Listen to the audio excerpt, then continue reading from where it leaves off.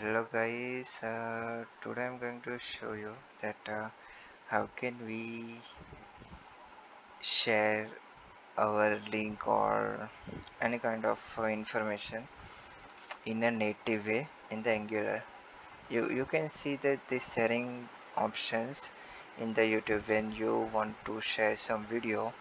And uh, if you click on the share button it will provide you some uh, your application which is in your phone like whatsapp fb instagram or telegram email also etc etc so this kind of native sharing mechanism we can achieve using navigator in the angular. So i have already prepared the code snippet. Let's quickly see what i am going to explain you. This is my angular project.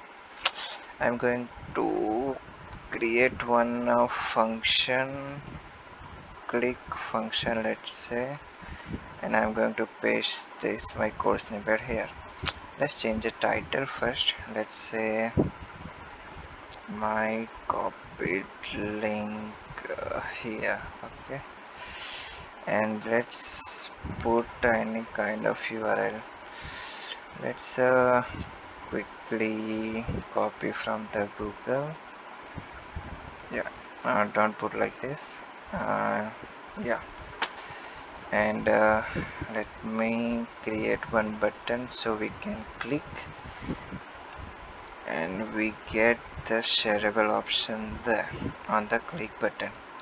Let's say button primary.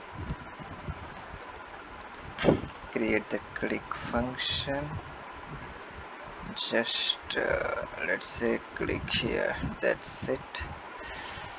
And let me give the margin from left 5 and margin from top 5 okay.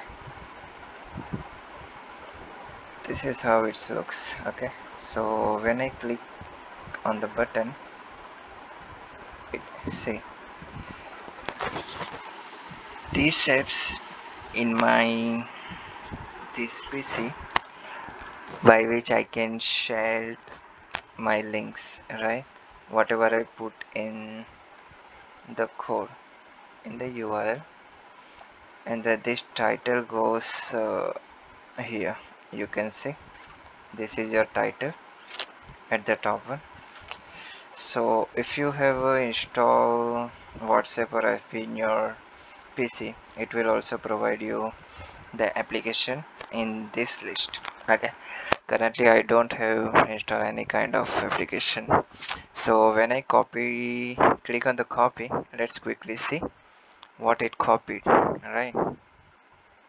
So this is yes. So this is perfectly working fine. Thank you